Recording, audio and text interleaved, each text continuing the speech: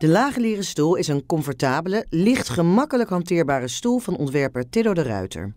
De maker koos voor een eenvoudig eikenhouten frame met een op het frame gelijmde leren zitting en rugleuning.